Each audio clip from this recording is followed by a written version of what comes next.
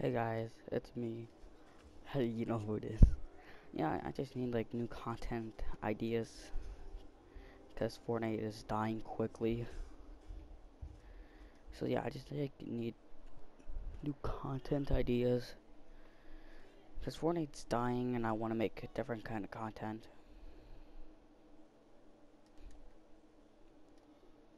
So yeah, that's basically it. I just like wanted to ask you guys like new content ideas, you guys can like comment it down in the uh, description.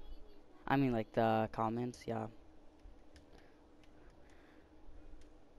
Because I am going to be playing different games. It could be any game.